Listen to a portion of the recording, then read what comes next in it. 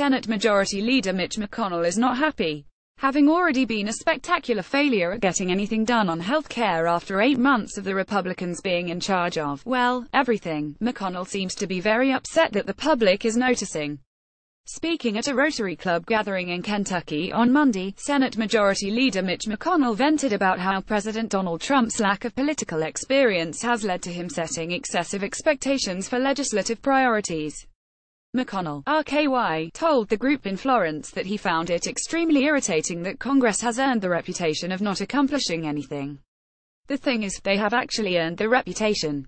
After the Republicans won back the Senate in 2014, McConnell was fond of saying that the GOP just needed to win the White House to get anything done.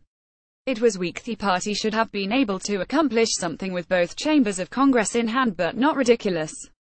If the Republicans had passed anything significant President Obama certainly would have vetoed and they didn't have a veto-proof majority. Now it seems that was all just so much convenient cover for dysfunction and a lack of will. To be sure, McConnell has an occasional moment, making sure Merrick Garland's confirmation never came up for a vote being the most recent. That was last year. We are now firmly in what have you done for me lately territory now and there really isn't much to show for it.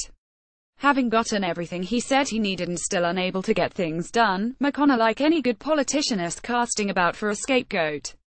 This time, the bogeyman is timelined. Speaking at a Rotary Club gathering in Kentucky on Monday, Senate Majority Leader Mitch McConnell vented about how President Donald Trump's lack of political experience has led to him setting excessive expectations for legislative priorities.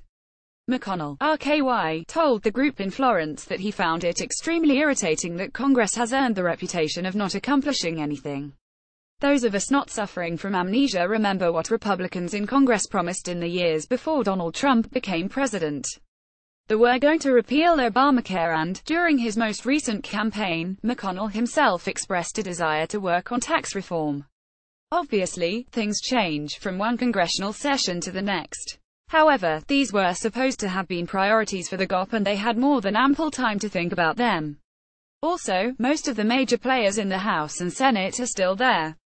It isn't as if all new people showed up and had to get up to speed. McConnell continues to babble about Trump's lack of political experience, which is true but does not excuse the fact that he and his colleagues have been caught unaware by their own promises.